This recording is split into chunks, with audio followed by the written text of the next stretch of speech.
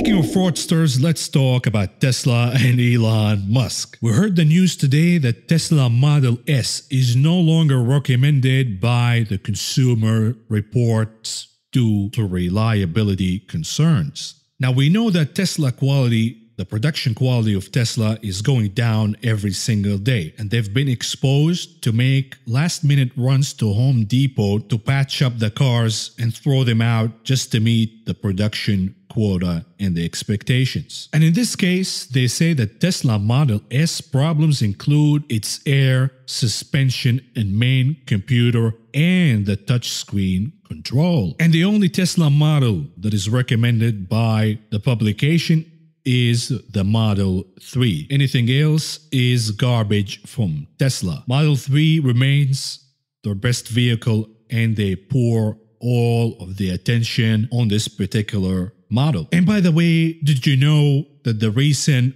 run in Tesla shares after announcing that they were being included in the S&P 500 made Elon Musk very close to becoming the second richest man in the planet defeating Bill Gates. Remember that Tesla only made 24 billion bucks in revenue, but Elon Musk's net worth is equivalent to almost 4 times the revenue the entire company produced last year. And now Tesla is becoming very close of surpassing the valuation of Berkshire Hathaway. Good entry price, bro. And by the way, the richest or the second richest man in the planet, I should say, Elon Musk, Reverend Elon, is hiring a lot of people, but he is hiring them as part time employees because if he does hire them as full time employees, he has to buy laptops for them. So Elon cutting corners in his car productions. Remember that he forgot to pay the water bill in one of his factories. And now we find out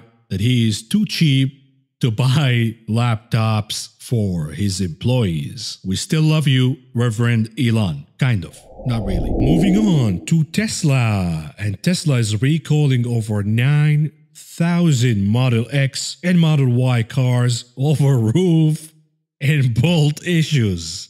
Now, Reverend Elon just became the second largest, not largest, the second richest man on the planet. But Reverend Elon has a reputation of being very, very cheap. We talked about him wanting to hire people part time rather than full time because he doesn't want to buy them laptops. And we talked about the time when he forgot to pay the water bill in one of his factories. And we also heard the stories about Tesla making last minute runs to Home Depot to patch up their cars and send them out to meet the production numbers, and quotas, leading to quality issues. And here we caught Reverend Elon buying cheap bolts from Home Depot because he doesn't want to pay extra 20 cents for the high quality made in the USA bolts. And the result here is quality issues and recalls for Tesla. And maybe Reverend Elon should cut some costs by removing the entire battery